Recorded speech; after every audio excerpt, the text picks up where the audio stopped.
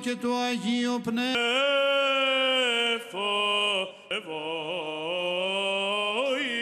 Κύριε, η της τριάδος εφανερώθη προσκύνησης του γαργερίτορος η φόρη προς εμαρτύρηση αγαπητών σε Υιόν ονομάζουσα και το πνεύμα ερίδη περιστεράς ευεβαίου του λόγου.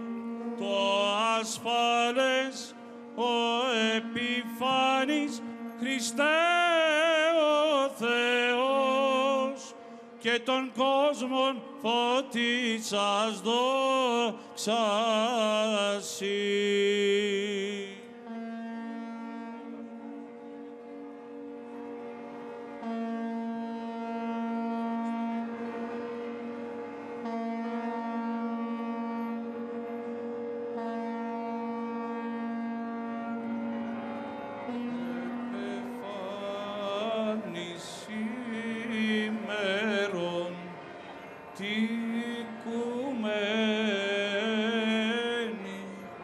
και το φως σου, Κύριε, εσημειώθη εφήμας εν επιγνώση υμνούντας σε ήρθες εφάνεις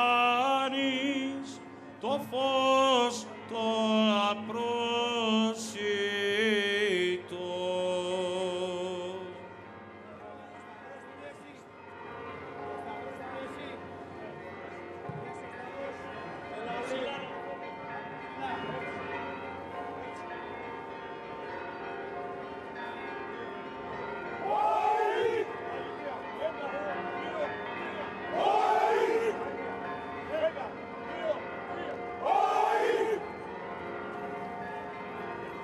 Εύχομαι το φως των ημερών να μας φωτίσει όλους, πολίτες και πολιτικούς.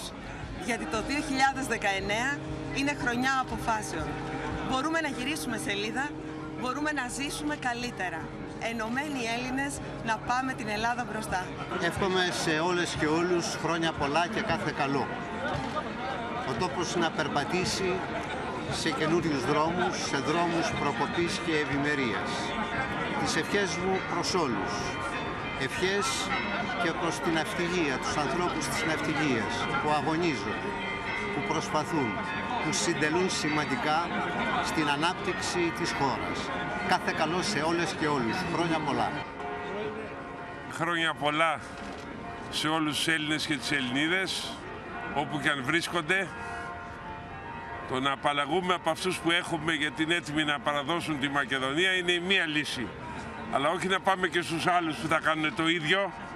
Η Ένωση Κεντρών λοιπόν καλεί το λαό σε μια πανστρατιά εναντίον αυτών που είναι πρόθυμοι να προδώσουν τη Μακεδονία και εναντίον όλων εκείνων που δεκαετίες τώρα με ρουσφέτια, με διαφθορά και με συναλλαγή κατέστρεψαν τη χώρα. Πραγματοποιήθηκε στον Πειραιά και φέτος ο εορτασμός των Θεοφανίων σε μια πολύ ευχάριστη μέρα. Ε, θα ευχηθώ πως κάθε χρόνο το φως της ημέρας να φωτίσει όλους τους Έλληνες, όλους εμάς, ώστε να ξεπεράσουμε τα πολλά προβλήματα που εδώ και χρόνια μας ταλαιπωρούν. Χρόνια πολλά σε όλους τους πυραιώτες και σε όλους τους Έλληνες.